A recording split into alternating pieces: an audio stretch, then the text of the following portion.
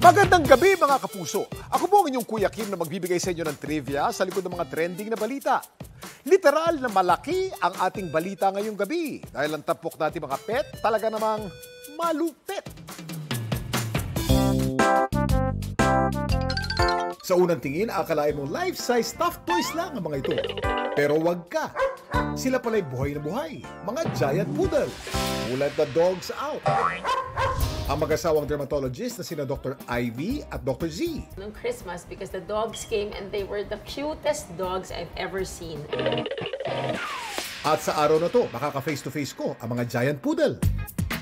Medyo mabigat, parang kang kumakarga ng batang ah, malaki. Ang mga giant poodle mahilig daw manlambing at dumamba. Pero syempre, dahil malaki ang kanilang size, When it's a bit cooler, they are okay. I notice ha, hindi sila masakitin. Unlike other breeds, Kuya Kim, paano nga ba lumalaki ng tila life size ang giant poodle? Kuya Kim, ano na? Kuya Kim, ano na? Ayon sa pag-aaral, ang mga aso ay may piraso ng genetic material na responsable sa kanilang magiging laki. Tinatawag itong regulatory sequence. Ang mga maliliit na aso may isa o higit pang mutation sa kanilang regulatory sequence, habang karamihan ng mga medium at large dogs ay wala nito. Ang mga poodle ay may tatlong uri, miniature, toy, at standard. Ang mga giant poodle pareho nito ay kabilang sa standard poodle. Lampas sila ng mga 25 to 27 inches yung height nila. Tapos yung timbang nila, pwede silang umakyat hanggang mga 40 kilogram. Ang mga standard poodle ay nagmula sa Germany noong 16th century. Ang poodle ay galing sa German word na pudel o pudelin, nang ibig sabihin ay to splash in water. Ang mga poodle kasi ay talagang napakahilig sa tubig. Samantala, nang dumami na ang mga giant fur babies na mag-asawa, we just wanted to share them with our friends. The number of requests for puppies was just overwhelming. He started realizing that he has a passion for breeding. pero paalala nila sa mga gustong mag-alaga ng giant poodles. Like babies, importante na you have to take care of their nutrition and their maintenance and their grooming.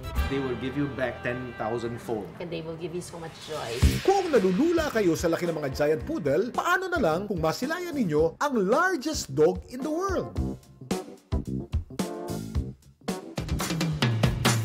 Ang English Mastiff na si Aikama Sorba of Lasusa ang may hawak ngayon ng Guinness World Record para sa pinakamahaba at pinakamabigat na aso sa buong mundo.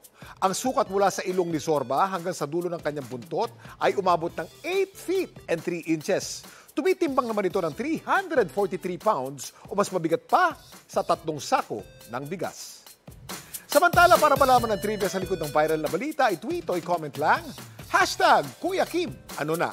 Laging tandaan, kimportante ang may alam. Ako po si Kuya Kim at sagot ko kayo 24 oras.